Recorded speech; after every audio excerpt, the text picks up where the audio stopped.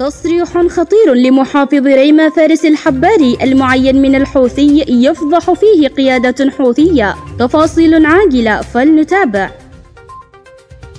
أسعد الله أوقاتكم بكل خير. تحدث محافظ ريما المعين من قبل الحوثي فارس الحباري في إحدى المقابلات التلفزيونية الحديثة كاشفا عن ممارسات طائفية من قبل قيادته في الحكومة الحوثي. وقال الحباري أن وزير الصحة طه المتوكل أقدم على إقالة مدير أكبر مستشفى في المحافظة والسبب. هو أنه يضم يديه في الصلاة ويضعها فوق بعضها ولا يرسلهما ويصلي مسربلا. واشتكى الحباري في المقابلة من إهمال الوزارات الخدمية وقال الصحة عندنا نوم وكل المجالات. وأكد الحباري أن وزارة الصحة لم تقدم شيئا لمستشفيات محافظته وما عندنا إلا ما جابته المنظمة الكاذبة حد وصفه.